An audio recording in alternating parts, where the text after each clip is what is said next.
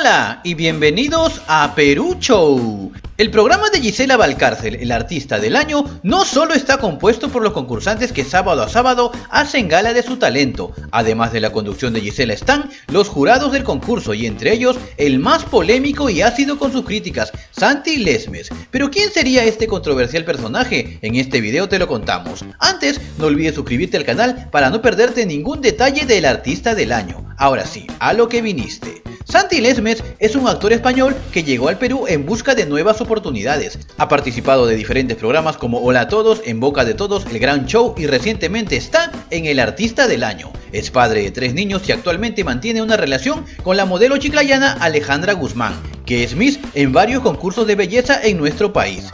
Lesmes ha tenido acalorados enfrentamientos con varios personajes de nuestra farándula, ya sea como conductor de programas televisivos donde chocaba con sus colegas, como también con participantes de realities de competencia en los que estuvo de jurado. Todo gracias a sus polémicos comentarios que muchos no los tomaron para nada bien. Entre estos personajes estarían Michelle Soifer, Mario Hart, Carlos Cacho, Rodrigo González y muchos más. Y estamos seguros que ahora en el Artista del Año no será la excepción y tendrá más de un enfrentamiento con varios de los participantes del concurso.